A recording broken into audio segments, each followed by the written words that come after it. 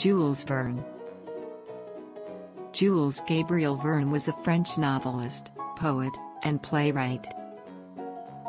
He was born on February 8, 1828 and died on March 24, 1905. Verne was born to bourgeois parents in the seaport of Nantes, where he was trained to follow in his father's footsteps as a lawyer, but quit the profession early in life to write for magazines and the stage. His collaboration with the publisher Pierre-Jules Hetzel led to the creation of the Voyages Extraordinaires, a widely popular series of scrupulously researched adventure novels including Journey to the Center of the Earth, 20,000 Leagues Under the Sea, and Around the World in 80 Days.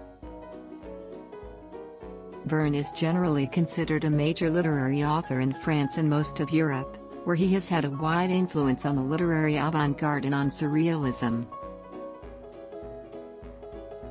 He got his education from an Lycée Georges Clemenceau, 1844 to 1846. He was married to Honorine de Viane Morel from 1857 to 1905. He has authored books such as 20,000 Leagues Under the Sea, Journey to the Center of the Earth, Around the World in 80 Days, The Mysterious Island, and From the Earth to the Moon.